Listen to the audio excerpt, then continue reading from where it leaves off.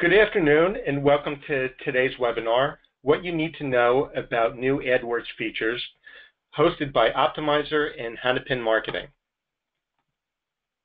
Our presenter today is Frederick Vallaeys. He's the founder of Optmyzr. He's a PPC hero blogger, and he can be found on Twitter at Silicon Vallaeys. My name is Jeff Baum. I'm an Associate Director of Paid Search here at Hanapin Marketing. I'm also a PPC Hero blogger, and I can be found on Twitter at JeffBaum71. Fred, welcome back. Looking forward to presenting with you again. Thank you, Jeff. It's good to be back. Uh, let me extend a, a, good morning in addition to your good afternoon. Uh, I'm here in California, so just on my second cup of coffee for today, and uh, welcome everyone uh, across the world.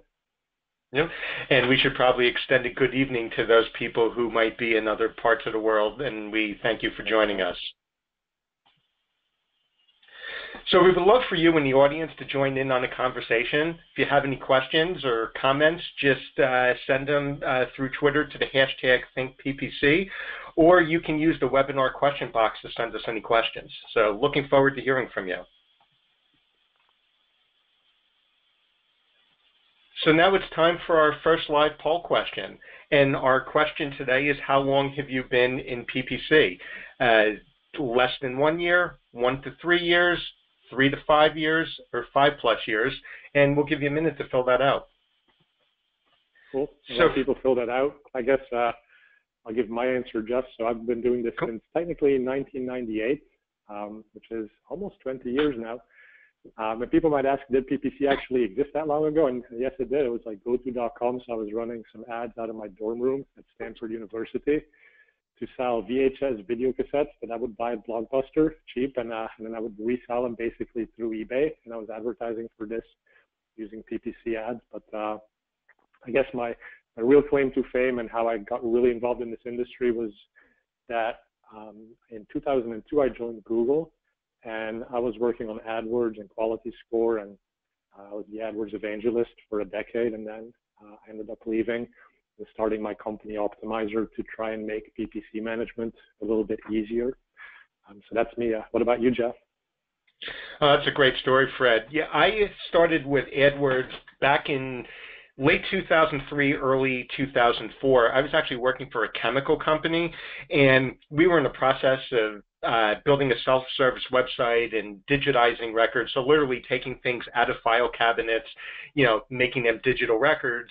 And then uh, we were also trying to set up a sample system where uh, a person can come in from anywhere in the world, you know, request a sample of a product, and then have a sales rep contact them then we started using ads in order to be able to, to drive those users to, to come to the site. And then it sort of took on a life from its own. Then I would stay up late at night and then I would study AdWords and try to learn by myself. Back then, you could uh, be an affiliate and run uh, paid search ads directly to uh, uh, to brands and whatnot. So I used that as sort of my training ground. So uh, that's how I got my start. And then next thing I know, it, it developed into a career. So it, has been a pretty interesting story and a pretty interesting ride so far. Nice. So you didn't go the dark ride of uh, remaining an affiliate. I'm kidding, by the way. Any affiliates on the call? uh, what you guys do, and, and, honestly, what affiliates do, it's uh, you're sort of pushing the boundaries of marketing, and then the big companies catch on, and that's why they then say you can no longer do this and you get sort of that yep. bad reputation. But I was an affiliate too, and it was pretty cool to do it. And I think it was early enough on before we got the before we got the black mark. Yeah, exactly. um, so here are the results. It looks like it's actually pretty evenly divided. Um, so we have a, a, bunch of fairly newbies. That's about 22%, and then 28% uh, of the largest group of people has been doing this just as long as Jeff and myself. So it's great to have you here. Uh, it's going to make it a little bit challenging for the two of us, of course, in terms of presenting at those uh, varying levels of um, how advanced you are, but we'll do our best to, to really mostly answer all questions that you have through the Q&A system. Um, okay, and actually one of the first questions that came in before we even started the webinar was, what is new AdWords features? Um, and so we have a whole list. We're going to talk about new ad formats. We're going to talk about bid modifiers. We're going to talk about quality score changing. Um, but the key thing is it's about AdWords, right? So we're talking about AdWords, not about Bing new features. That's the key answer to uh, what are new AdWords features.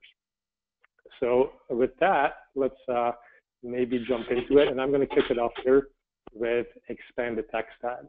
Um, we sat down to, to think about the topic for today. It was about sort of the announcements that Google made at their last live streaming event, all of the big announcements about what was going to change in AdWords in, the, in 2016.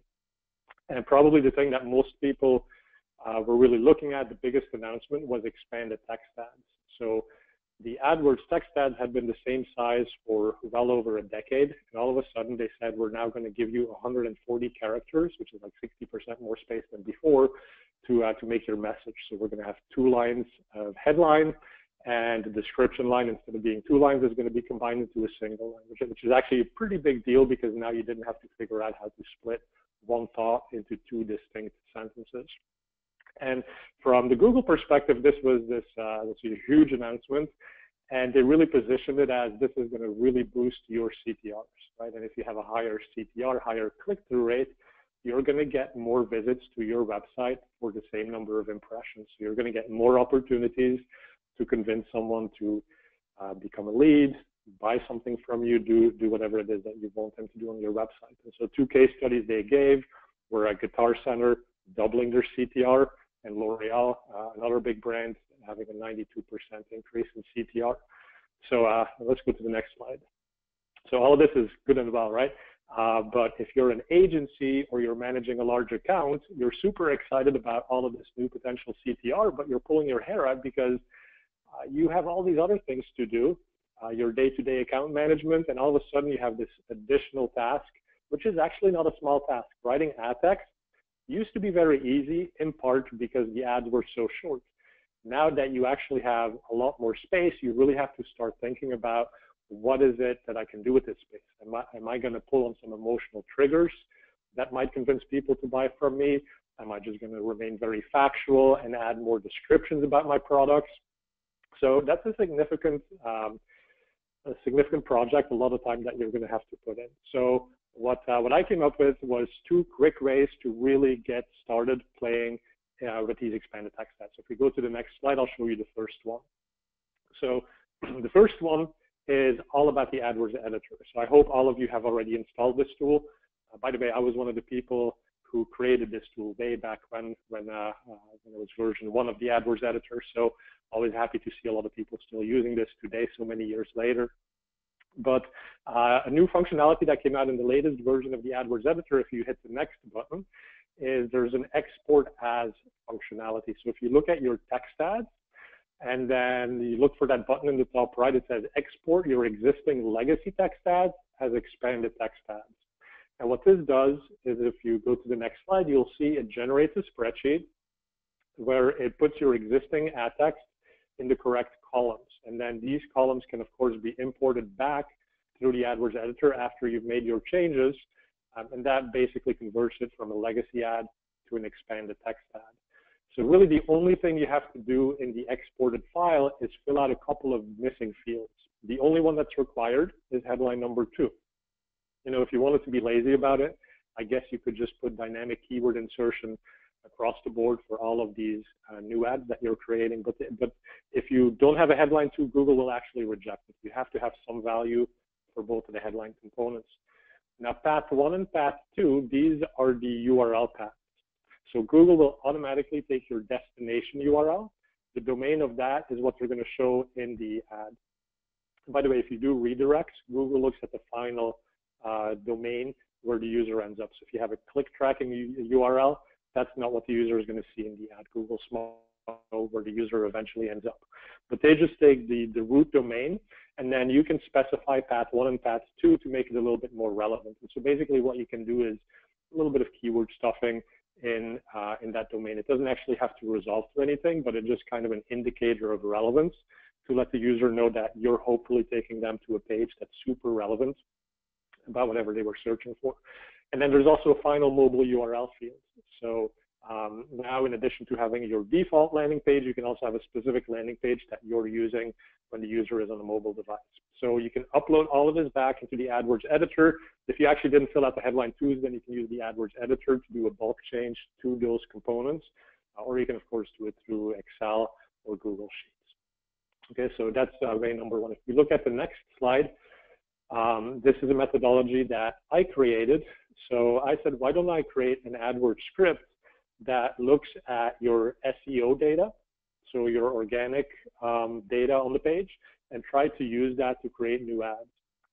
And I published this on Search Engine Land, so you can find that at the, at the link right there. You can download the script that does this for free. Now, kind of my thinking with all of this was the ads are more and more looking like organic results. And so if they're looking more and more like organic results, why don't we leverage all of the organic work that uh, your team has already done? Maybe it's you or maybe it's someone else in your company, but they've already written meta titles, meta descriptions, et cetera, et cetera. So if you look at the next slide, the basic principle of the script is very easy. It looks at what is your existing landing page, it crawls that page, and it extracts three components. It extracts the title, the description, and the primary H1 tag on the page. Then it goes and adjusts each of these for the correct length. Um, and so the good news is that when you look at the headline being two sections of 30 characters each, that's actually pretty close to the recommended length of a, an SEO title, which is around 70 characters. Uh, meta description, obviously, there's, it can be really, really long, but again, there's some recommendations to keep that somewhat short. Uh, there, Google now gives us 80 characters for the ad description. So what we tried to do was do a smart truncation at the end of a word so that whatever ad we're submitting uh, would somewhat make sense. And so if you look at the next slide, the, the purpose of the script is to generate a spreadsheet. And this spreadsheet can again be imported directly into AdWords Editor to quickly make expanded text ads. And so in this example, we, we just took our own domain and we basically pulled out the meta titles, meta descriptions. Um, we then put that into, so, so we took the meta title, split it into two components, up to 30 characters each, and we show you how many characters each of those is. So as you come to this Google spreadsheet, as you start tweaking this text a little bit, you actually see the character count so that you know you're staying within the limits for when you upload it back through the editor. So that's another quick way to do this. Um, and kind of what I was saying was you can do this in 30 seconds, but honestly, um, I recommend you put in a little bit more time. We use this as a great starting point uh, for something new to test. Okay, let's take a look at the next slide. So uh, with all of this, once you have your expanded text ads running, just like before, you still have to do some A-B testing. You still have to figure out which of my ads are the winners and the losers. Now here's the thing, you don't automatically assume that expanded text ads are going to be the winners. Even though Google has these great case studies of companies having tremendous increases in CTR, uh, there's a couple things about that. Well, first of all, you may not actually care that much about CTR. If you're trying to sell something, click-through rate is really not that meaningful. What you care about is conversions. Now, conversions by themselves are also not that useful because if you have a high converting uh, ad text, but nobody clicks on it, well, then that's no good either, right? But what you want to look for is a combination of CTR and conversion rate. That's a metric that's called conversions per impression. That's really what you should shoot for. Um, so even if the CTR is much better, that in and of itself is not necessarily a good thing for your business. Um, and then the other thing is the, the case studies that Google has given, obviously these are companies that did well with expanded text ads. But there's many, many cases of companies that are not doing well with expanded text ads. So don't assume that these are the new winners by default. So if you look at the next slide, we, uh, we took a screenshot from our tool at Optmyzr. We have an A-B testing tool. And so yesterday we added a new functionality which lets you compare expanded ads versus legacy ads on the same screen. So that helps you make the decision whether it's time for you to turn off your legacy ads or maybe they're still performing better. So as in this case, you see the legacy ad actually has a better CTR and that's statistically significant. However, the expanded text ad, much worse CTR, but conversions per impression is doing much, much better. Um, so in this case, I would probably want to keep the expanded text ad, but I might pause the legacy ad because at some point I want to turn it back on. Uh, remember, of course, Google is going to turn off your ability to make legacy ads. And when that, once that ability is gone, there's no way to get these back, right? So I kind of want to keep them around as long as possible, just in case. Okay, let's take a look at the next slide here. So uh, when it comes to considerations for testing your ads, you still have to ask the usual questions. And the usual questions about ad testing is you should compare brand and non-brand separately, right? Brands typically is going to have a much better CTR, so you don't want to mix that in with non-branded terms. You also want to take a look at when your ads showed up in similar locations on the page. If uh, your legacy ad happens to get a lot of coverage at the top of the page and maybe your uh, expanded text ad gets a lot of coverage at the bottom of the page, then you're not really comparing apples to apples. So you should really normalize for that. Uh, you should compare ads that got roughly the same number of impressions. So if you're using a tool or a statistical significance calculator, keep in mind some companies run different ads on the weekends and the weekdays. So you're probably going to see some significant diversion difference between the number of impressions of the different ads. And so uh, generally, we like to look at ads that roughly have the same number of impressions because that kind of indicates they probably got the same opportunities at the same times to uh, to show. And then you also have to compare performance on different devices. So uh, your winner on a mobile device is not necessarily going to be your winner on a desktop device. These can actually be different. Now, in the light of expanded text ads and all of these new changes, the new questions that I think we should be asking is, are the expanded text ads better than the legacy ads? Um, so in other words, if we switch off the legacies, should we switch off legacy ads now, or should we wait to do this until later? Um, and then if you find that expanded text ads are doing better, then figure out which one has the best performance and start doing a, a testing cycle for these ETAs. And then uh, the big question, is, so do different ad formats win on different devices? So like the example I gave you before. And now the reason this is such an important question, if you go to the next slide, is that kind of this one thing that Google didn't mention when they made this big hoopla about expanded text ads was the fact that there's no more mobile preferred option. Um, so in this screenshot on the left, you see a legacy ad. There, there was a checkbox where you could say this is a mobile preferred ad. Now that was never a guarantee it would show on mobile, but it was a preference that you could communicate to Google. On the right-hand side, these are the new expanded text ads. You see that option is no longer there. So you have a mobile URL, but you're no longer able to say something different on a mobile device versus a non-mobile device. And so kind of what Google is saying is pick your most important device and optimize for this. Uh, what I think is you should probably try to optimize for the best overall results. Uh, definitely use a mobile landing page. And if you look at the next slide, look at the next slide. So here we have um, kind of the overall results, right? So the test that we've done within Optmyzr, we ran the two automated methods that I just explained to you, and we saw 26% better CTR with a 95% confidence level. And this was mostly for non-brand keywords. Um, so we were pretty happy with that. Now, Merkle RKG had a great study. Uh, Andy Taylor just published that on Search Engine Land. And what they were finding is that brand ads showing at the top of the page, typically the expanded text ad has a worse performance than the legacy ad. Uh, but not huge differences, right? So with a, margin of error of, I think, plus minus 2%, in some cases, the desktop is actually pretty close to even, but on phone and tablet, it was significantly worse. Non-brand ads showing at the top of the page were basically flat. And then the big winner, though, that they found was non-brand ads showing at the bottom of the page. Those are seeing significant lifts, in CTR. So again, it kind of uh, begs the question then for your company, your business, where do most of your ads show? Um, if you happen to have a lot of brand ads at the top of the page, then maybe there's no huge rush jumping into expanded text ads because they're probably not going to do that much better. Right? But again, uh, as in all cases, these are averages. These are kind of industry numbers. Uh, individual results will vary. And like we saw, we actually did pretty well. Uh, but you may be in a different market and you may not do so well. So that's why we should always be testing, of course. Okay, so if we look at the next slide, um, thing that actually, yeah, so that's, that's kind of my bit on expanded text ads. I'm going to let Jeff talk about GDN. Great. Thanks a lot, Fred. And you know, definitely great insights about uh, expanded text ads. Uh, I think you make a good point about being uh, careful before making the quick hook on the legacy ads. You know, until Google pulls that functionality completely, we can continue to learn and hone our expanded text ad messages. You know, up until the very last minute, while uh, you know more and more people are coming into the auctions with with those expanded text ads. You know, any last bit of learning could you know certainly help. So I'm going to talk about GDN responsive ads.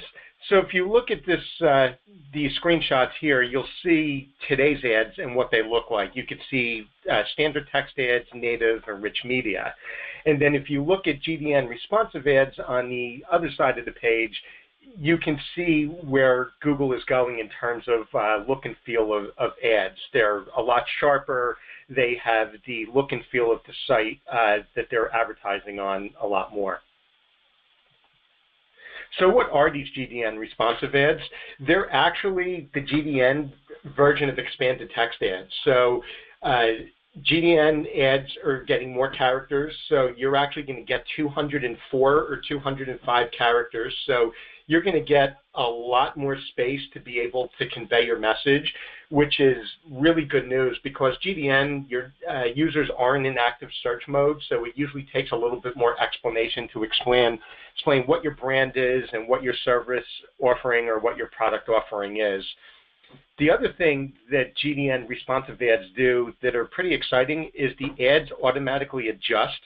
So size, appearance, format, is going to fit the ad spaces on the particular landing page, it's going to automatically optimize even down to the font. So the whole idea is these ads, whether they're native, whether they're text, whether they're images, they're going to be able to adjust to, to the look and feel and really give those ads the look of, of the site that they're on. And and even from AdSense tests, you know, way back, uh, uh, I remember uh, those ads would perform a lot better when they had more of the look and feel of the site that they were on. So this should help improve the responsiveness because the ads itself won't look like so much of an outlier. It'll really feel like the content of the site and should fit in nice and neat. So GDN responsive ads, they actually work pretty easy from a, a, user standpoint in getting started. So what you do is you enter in your assets. So you'll enter in headlines, uh, the images that you want to use, uh, the landing page, uh, enter in the business name. Uh, entering, you enter in all these assets, and then AdWords automatically generates the ads. So they're taking you know all your messaging and and images and they're going to conform it to how that ad should best look and feel on the actual site that that ad is going to show up on the images, they're actually suggestions based off of your landing page. So uh, one of the biggest things that that's tough with image ads and, and really getting them adopted is a lot of times we just don't have the resources. Uh, we either need the art department if we're you know working uh, in-house and trying to get their time and, and energy to be able to create, create banner ads for us, and then uh, if you're agency or if you're a freelancer, a lot of times you have to retain the services of a graphic designer, and that's expensive, and it it slows down the adoption of it. And it actually does cause a little bit of an issue because Google offers so many different ad sizes. Uh, a lot of us default to text ads, but you're leaving out so much opportunity for your ads to show. So you're you're limiting your exposure and you're limiting uh, the people that you can reach. So uh, being able to uh, you know have those images generated for you off of the actual content you already have and image and, and landing pages that are already in use gives a nice sharp crisp message. In addition to that, you can also upload logos, uh, you know, other you know specific assets that you might have that allows you to control branding and messaging even further. So ads are going to look sharper and give you more credibility when you can have your logo, and Google is allowing you to do that with these ads. So on this slide here, we just have some ad specs for responsive ads. So if you look at the current GDN text ads, you have a 25 uh, character headline, uh, a, two descriptions, 35 characters each. So you're getting about 95 total characters of space in today's current ads. But what you also can't do is upload images, the advertiser name, or upload a logo. Uh, the final URL is pro uh, provided visual URL. So when you're you're typing in that URL, uh, there's always that chance of uh, of user error. You know, putting in you know a wrong character, you know, in, in the wrong spot, and it could cause your ads to get disapproved. Where GDN responsive ads has taken the good parts of uh, expanded text ads and was able to adapt it. So now you're going to get a double headline. You're actually going to get a short uh, headline of 25 characters, then a 90 character long headline, plus a 90 character description. And then if you follow uh, the specs that are listed on here, then you can upload that image that we were talking about. And then the uh, 25 character final URL is pulled basically the same way from uh, uh, like the way the expanded text ads do it. They pull it from the domain. Uh, you can enter your advertiser name, you get 25 characters, and then you can upload that, that logo according to these specs. So a lot of neat new functionality that it, that's coming on the scene. So setting up GDN responsive ads are pretty simple. So what you do is in the AdWords interface, you can click on the Ads tab, then you just click on the red Add button, and then from the drop-down, you choose Responsive Ads.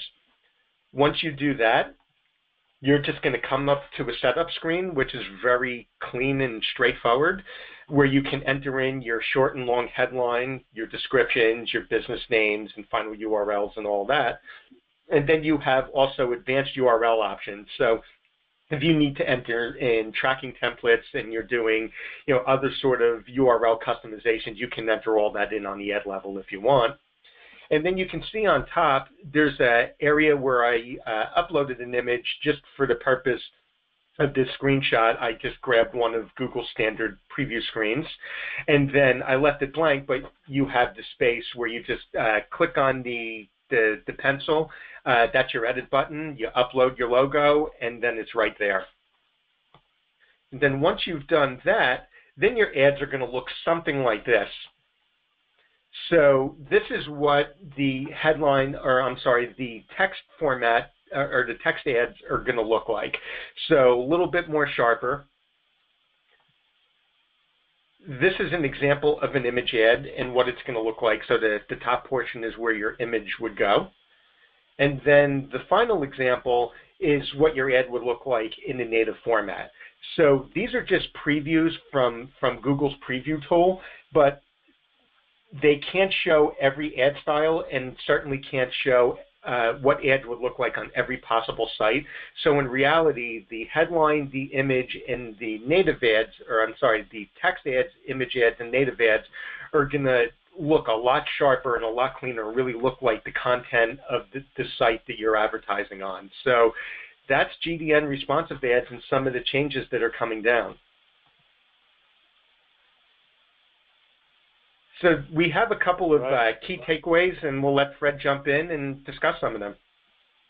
Yeah, this uh, this is really awesome, Jeff. How easy it is to make these responsive ads. Yep. So, but anyway, uh, my key takeaways here for all of these new ad formats is start testing the expanded text ads now, especially given how easy it can be using the two methods that I showed you. Uh, but then don't make the assumption that legacy ads are going to be worse. So keep those around for a little bit longer. Um, and then also try to find the expanded ad that beats legacy ads on all devices. Um, and I didn't quite talk about this, but there might actually be situations now where you will maybe want to have separate campaigns, um, separate campaigns for different device types. And then Jeff, I think the next two are yours. Yep. So just a couple key takeaways on my end responsive ads, they can fill critical coverage gaps on GDN. So if you don't have the ability to create a lot of image ads or or, or whatnot, uh, just being able to enter in the assets and covering all that that middle ground in between could could certainly help. And then just talking about testing strategy, tactics in general. So whether it's expanded text ads or whether it's the uh, GDN responsive ads, there's so much more for us to test now uh, that we really need to rethink our testing strategies. Uh, we're way beyond just testing punctuation and and maybe just a call to action. We have uh, two headlines and, and descriptions, and we're going to learn a lot about what people are actually reading on ads and, and all of that. So take the time now to start thinking through your strategy. So this way, when expanded text ads uh, come on the scene, you know, 100%, uh, I believe it's the end of October when they're retiring the legacy ads. And when GDN ad, uh, responsive ads come on the scene, that we've already thought through these things and we're ready to go with our testing and we're a step ahead. Great. So um, let me tell you about a small change that Google announced uh, just about a week, week and a half ago. Uh, did you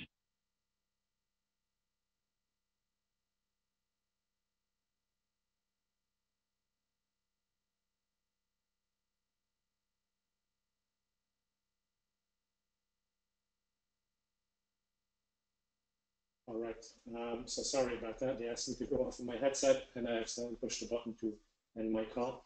But, uh, but anyway, small change that Google announced uh, that many of you may not have noticed is that they're actually going to change a little bit how quality score works. So as of September 12th, keywords that don't have enough data will show you a quality score of dash dash. And so if you go to the next slide, what that means is that you're actually going to get better insight into your real quality scores. About a year, year and a half ago, Google changed uh, this as well. So it used to be that a new keyword would start off with a quality score that was based on the prediction of how it would perform. So it was based on account quality score, a bunch of other factors. And then they changed it and they said now every keyword that's new is going to have a quality score of six. But that was kind of confusing because now you would look at your account and you'd see all of these keywords with a quality score of six. And this is another screenshot from our tool. You see that little bar there at the bottom uh, the different quality scores. So you see most accounts have a lot of quality score six keywords, but you don't know if that's because a lot of these keywords are new, Google doesn't have enough information, or because you truly have a quality score of six for that particular account. Um, and so now there's going to be new clarity coming around this because anything that has a quality score of six is truly a quality score of six. So if you go to the next slide, uh, again, this is not a huge change, but I did want to mention this to people, especially because I was on the quality score team for quite a number of years. So if anyone has questions about this, that would be a great topic to ask me about. But I think what it means is you're going to have much better insight into what your real quality score is. Your ad rank and your CPC should not change, and that's because the quality score number of 1 through 10 that Google shows you is just kind of a representation, but it's not the same as the real-time quality score that is used at every single auction and every single search that happens. Uh, but if you want to know how this is going to impact you, again, September 12th is the change date, so be tracking your quality scores before and after. At the very least, I think you should take a snapshot maybe on September 11th of all your quality scores, and then again do the same thing after the change has gone live so that you can see which of your keywords have shifted, uh, and if maybe something else happened beyond what Google announced they would do. I mean, that's actually what we kind of found in the last change. Uh, they said one thing was going to change, but it had a, a, little bit more impact on other things as well. So I think it's just generally nice to know what exactly happened to my account, and then especially if you work with clients, right? Because they might at some point notice, they might ask you about it, um, and you're going to look like a PPC hero if you actually have an answer to that question for them. So anyway, that's enough about quality score. Uh, let's talk about some other new features from uh, from Jeff here. Great. Appreciate all the insight on quality score. You know, that, that that's really important and, and something that we should be thinking about right now. So I'm going to spend a couple minutes talking about converted clicks. Uh, it's actually a feature that's going away. Uh, probably in the end, it won't be a huge change, but it's one that we need to be thinking about uh, uh for sure. And, and because a lot of us use converted clicks or have used it in the past to uh, optimize our accounts against. So the converted click metric is being retired by September 21st of this year. So uh, it's going to go away in a hurry. Um, the converted click metric is actually a legacy metric that was developed a couple of years ago, and it really reflected a different time uh, in in paid search marketing where we were really focused on the last click uh, attribution, and we were really focused on unique conversions. I know myself from primarily being in the lead generation space you tend to look at a lot of those unique conversions. How many unique people filled out uh, a lead form and then optimize against that. But what's happened over the last few years is that the path to conversion has gotten very sophisticated. So it, it's not so straightforward anymore where it's, it's formed to conversion. So even on the lead generation side, uh, you have people that are uh, they're going cross device. They're also uh, looking at YouTube videos, they're visiting other channels. So there's a lot hap that happens before someone ultimately lands on your landing page and they actually convert. And converted clicks just doesn't, it doesn't pick up all of that data. The, the metric is kind of restrictive, restrictive in that respect. So what do you need to know about converted clicks? So what's going to happen is all uh, all conversion metrics are going to now feed into the conversion metrics tab. Yep. They're, they're actually going to feed in actually to the conversions column, I'm sorry. And uh, cross-device conversions are automatically going to be included in there starting 9.6. So Google is deeming that cross-device conversions are important and they're automatically going to count it. So you need to be aware of that because you are going to be using this data to optimize the good thing is you can count the conversion types you deem important. So you can set different conversion tracking uh, types in, in conversion tracking, and we'll, we'll discuss how you set that up in a minute. And you can include in the conversion column the metrics that are important to you to optimize. So you may want to track a bunch of different conversion types, but you may not want to optimize against them all. So you have that op, uh, that ability to to include what you want. And ultimately, I believe it gives better flexibility to measure all touch points as opposed to just one. But you can also measure unique conversions as well. So you just have to work on reconfiguring your conversion tracking a little bit eh, and really it's the conversion settings to be able to decide what type of conversions that you want to track. And then on this slide here, this is just a, a visual output that, that Google had put together to really show how conversions are, are going to be counted in the future. So this is a good example of an e-commerce client that is selling product and then also looking to get downloads for a catalog. So you might wind up with two converted clicks and three conversions. So there, right now, you would see in the converted clicks column, you would see two uh, two converted clicks. You would see see three conversions in the uh, conversions tab. It's a little bit confusing. Um, advertisers can now see everything all together in one spot, and then you can decide how to optimize against it. There are some bidding ramifications, and Fred, feel free to join in if you have some perspectives as well. But uh, when we move over to the conversions only uh, metric and we do away with converted clicks, it is going to affect automated bidding. So if you're using Google tools, for example, like Enhanced CPC or Target CPA bids, uh, you're going to want to wait a couple weeks before updating them because you are feeding more information into it. So that means that the system is going to have to learn uh, all over again. So making too drastic of a change right after this goes live could cause some performance um, up and down. So it's something to be aware of. And you really also have to think about how you're valuing your different conversions. So when I use that, that YouTube example, uh, that's an assisted click, but that may not be a full I wouldn't count that necessarily as a full value. I might count that as a half a conversion, a quarter of a conversion. Uh, if we have all this different type of conversion data sort of feeding into one spot, we have to be careful against overbidding or, or underbidding. So we really need to think about how we're valuing our conversions to make sure that we're valuing valuing our conversions correct, arrive at the right bids.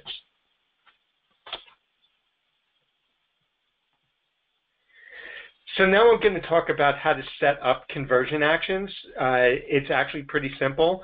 Uh, if you just go in the AdWords interface to tools and then click on conversions, you'll open up your conversion actions. So you'll see here you have a summary of it. So in this example, this is from an account of mine. Uh, the conversion action is leads, and then it has just the different parameters where the, the source is the website, the category we're tracking is leads, whether or not we want to convert, uh, include that in the conversions account. So you get a basic idea of the type of uh, um, conversions that you, you have set up. And then just by clicking on that red conversion button, you can set up uh, multiple conversion types when you do it all from this screen. Then if we go into the settings, then we can we can see, you know, fully all of the different settings that make up this conversion type, and then we can, you know, decide things like conversion window, uh, whether we want to count every conversion or if we want to count just unique conversions.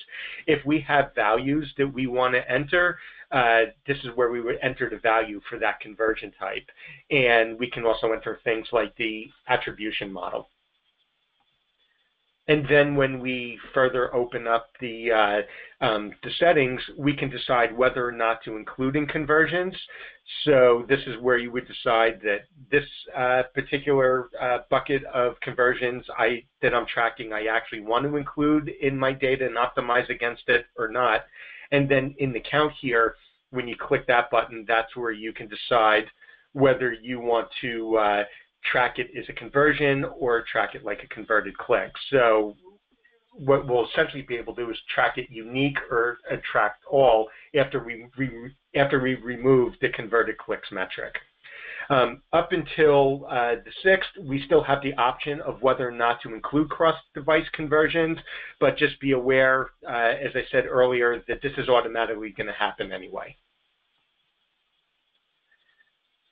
So now I'm going to move on and I'm going to talk a little bit about some updates to enhanced campaigns. So before we jump in, I'm just going to summarize the current functionality. So enhanced campaigns are basically a desktop first mentality. So all bids stem from uh, the base desktop bid. So we don't have the ability right now to optimize tablets, uh, bids work, uh, or mobile bids work off of bid modifiers. We can bid up or down, but we can't change the base bid for mobile. Uh, we have to treat all keywords basically the same by device, except for the, the modifier. We can't have separate keyword lists. We can't have a mobile list. We can't have a desktop list. So we're kind of restricted in the, the keywords that we're allowed to uh, to, to buy or not. We have to kind of do it all. It's all lumped together. Uh, we do have mobile-specific ads right now where we can have a bit of a, a mobile-specific experience, but the flexibility of enhanced campaigns is kind of limited. So the update that's coming is going to create a more flexible approach. We're now going to be able to have base bids by any device. For example, if we want to bid we want our base bids to be mobile, we can do that. We can set our base bids at the mobile level, and let's say we don't want to advertise on desktop, we can then set base bids of negative 100%. We could do the same thing with tablet. So it gives us a lot of flexibility to you know, manage each device uh, more separately. Uh, bid modifiers are going to change. The current bid modifier is 300%, and the bid modifier range is going to increase up to 900%. So you do have more flexibility.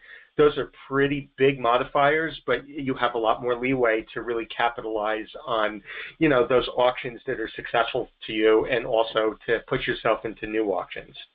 And then this flexibility gives you more ability to go granular in your approach to your, your paid advertising.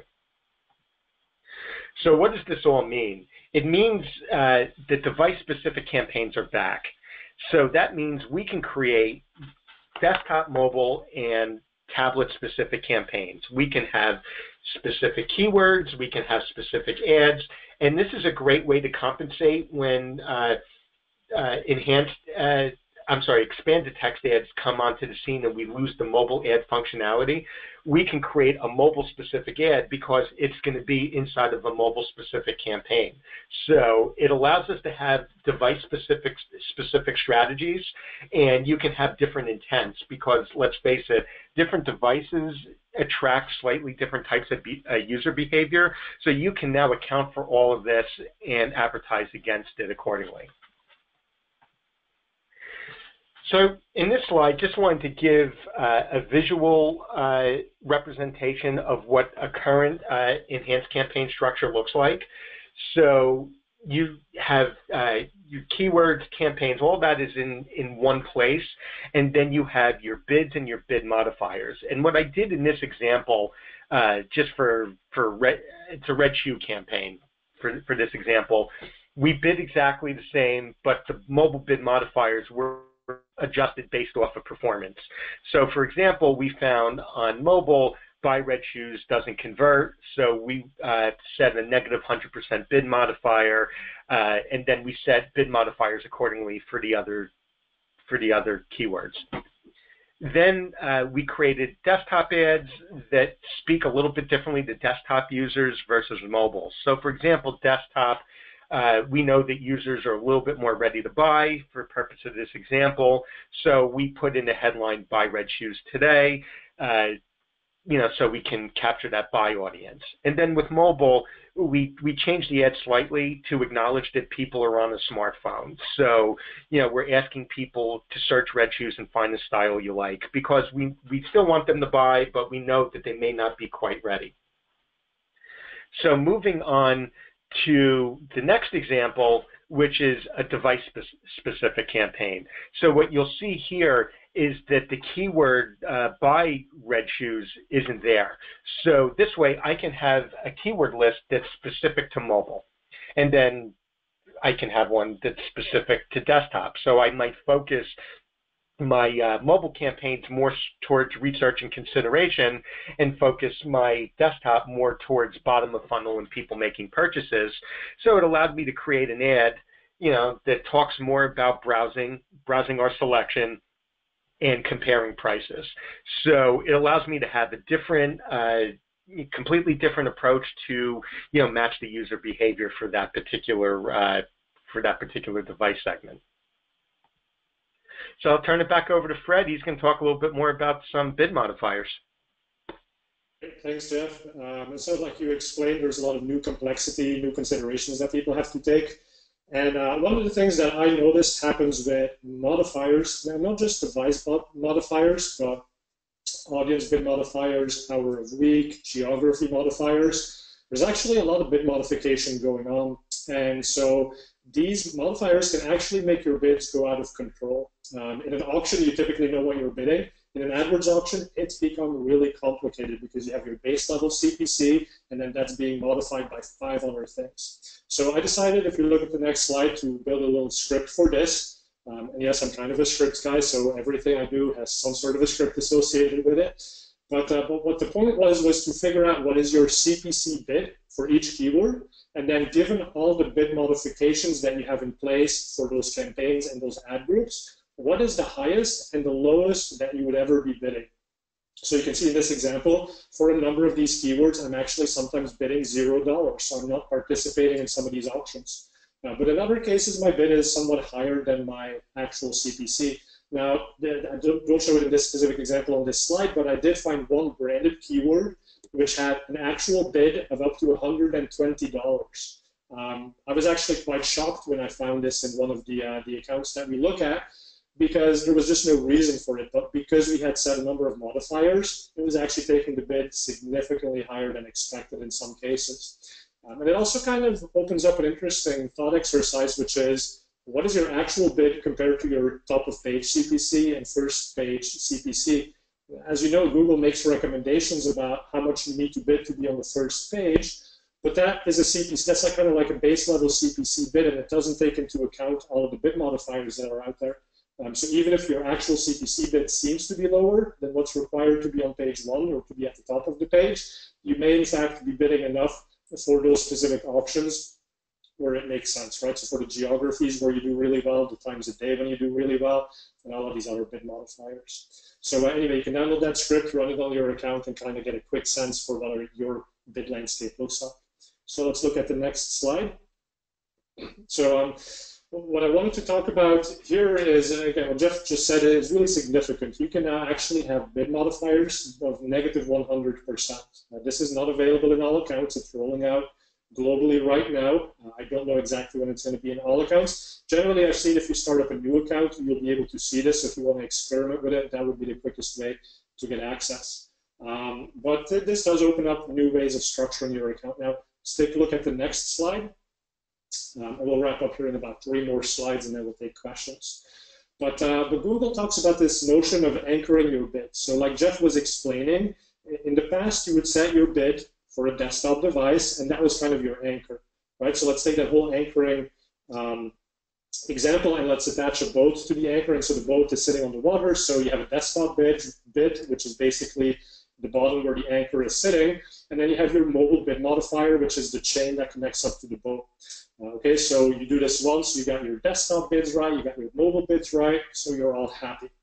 But now you move on to the next slide, and all of a sudden the boat has been moving and the ground is at a different level. So basically your anchor has changed. Uh, that's that's your desktop bid, right? So the situation, something has changed, you've just changed your desktop bid. Well, if you forgot to look at your mobile bid modifier and you kept the chain to the anchor at the same length, you'd be bidding the wrong amount for mobile. And so kind of the point I'm trying to make is that by having all these bid modifiers, it actually adds a lot of complexity because now every time you change the desktop bid, it actually impacts all of your other bids as well. So you have to remember to go and fix those. In fact, one thing that we see a lot is that people, when they do bid management, they look at all of their AdWords data and they set a new CPC bid, and then they still have modifiers running separately from that. Uh, but basically what you need to be doing is you need to look at your specific segment. So you need to look at the AdWords data just for your anchor, say desktop uh, performance. That sets your CPC bid, which is tied to your desktops. And then separately, you should be doing a similar exercise to figure out the correct bid modifiers for the different devices. So if you go to the next slide, uh, one proposal I have, and I don't know if this is necessarily the right thing, but it's kind of, a, again, another thought exercise that's now possible because of this new landscape that we're seeing, if you look at the next slide, is you could set some static bid as your anchoring point. Um, and so now you can say, well, every time I want to make a bid modification, I'm just going to play with my modifiers. So for example, I set a $1 CPC for the ad group, and then if I want a bit more for desktop, I change the desktop modifier. But changing that has no impact on what happens to mobile and tablet. So it's kind of segmenting it out and making it a little bit easier to understand. Now the downside of this, of course, is that ad group is the lowest level of bid modification you can do for device types. So this would require you to have single keyword ad groups. Uh, but like Jeff was explaining too, that might actually be the right thing to do. So maybe you want to have different uh, device specific single keyword ad groups so that you get back that highest level of control. And you specifically would want to do this for your high volume, high value keywords. And then the long tail, you know, this might be overkill in terms of structure, uh, but at least for the, the stuff where you make most of your money, having that level of granular control might actually be a very good thing. Okay, so um, I think that was my final slide. So uh, yeah, anyway, we have key takeaways. So know how these modifiers impact your bid, current bid management decisions, uh, investigate how the introduction of the tablet bid modifier, which is rolling out now, can change your strategy and structure, and then consider if it makes sense to employ modifiers um, and where it makes sense to build specific device type campaigns. So with that, let's go to questions here. Um, and while we go through the questions, we also have a couple of offers. So if you're interested in taking advantage of one of these, you can just uh, select one or uh, one of these boxes, and then we'll reach back out to you. Um, so we'll go back to, uh, to the first question we got here, which was from Alejandro, uh, who's asking, is there a possibility to adapt and bulk the old text ads to expand the text ads? So you have about 5,000 ads to convert. Um, so yeah, the AdWords editor is probably your best way to go about that. It's really about making bulk changes to your account. Uh, so do take a look at the AdWords editor functionality for that. Um, Carl was asking, how long will this last before all accounts have the expanded text ads feature and it's no longer exclusive? Uh, so expanded text ads are now live for everyone. So if you haven't seen it, um, there's probably something wrong with your account. Uh, so go and ask your Google Account Manager about that. As far as the tablet bid modifiers, that's currently rolling out on a percentage basis. So uh, you may not have it quite yet, but the rollout is increasing every day. They haven't given me a, a final date for when it's supposed to be at 100%, but check back on your accounts on a daily basis. Okay, um, Regina is asking about mobile expanded text ads. Do they also have 140 characters? And yes, they do, right? So now there's a single ad format. All ads have 140 characters, all the text ads at least, and there is no distinction between mobile and desktop ads. Okay, then uh, Melanie was asking, would you guys know if customer match is available for the display network? Uh, just wondering when I look at uh, GDN ads. Jeff, maybe that's a good question for you. So question four, is customer match available for the display network? Yeah, yes, customer matches is, available for the display network. Uh, I would think that the responsive ads when they come out will just enhance everything. It should, it should enhance, uh, you know, the conversions because you're already hitting a targeted audience. And then the next question is also about GDN. So we were just asking for the responsive ads that we talked about. Uh, do you have to be part of the display advertiser network? Um, or is that a whole separate thing in AdWords? So kind of giving context of where it lives in the AdWords ecosystem. Sure. So it's going to be part of the AdWords ecosystem. So as an advertiser, as long as you're running an ad campaign or a display ad campaign and you're uh, you're opted into display, then the functionality will will take over. Okay, right. And then John was asking also about these responsive ads. Um, can those work when your targeting is retargeting?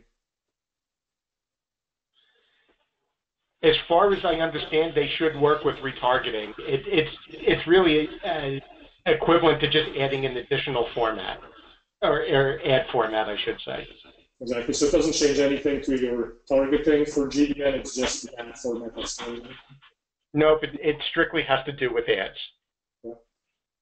Um, and then Johanna was asking, can you please explain the main difference between native, image, and text ads?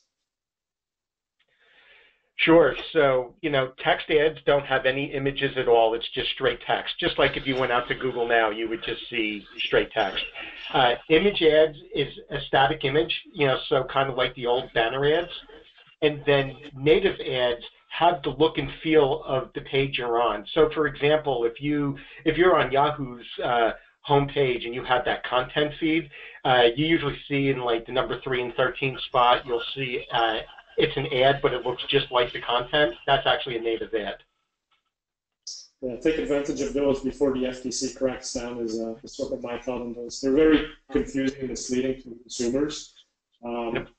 But they get results, right? So as marketers, that's, uh, that's while it lasts. Lots of engagement. Yeah, exactly. Um, next question came from Carl. He's asking why test legacy ads if we know that ETAs are going to be the main ones in October.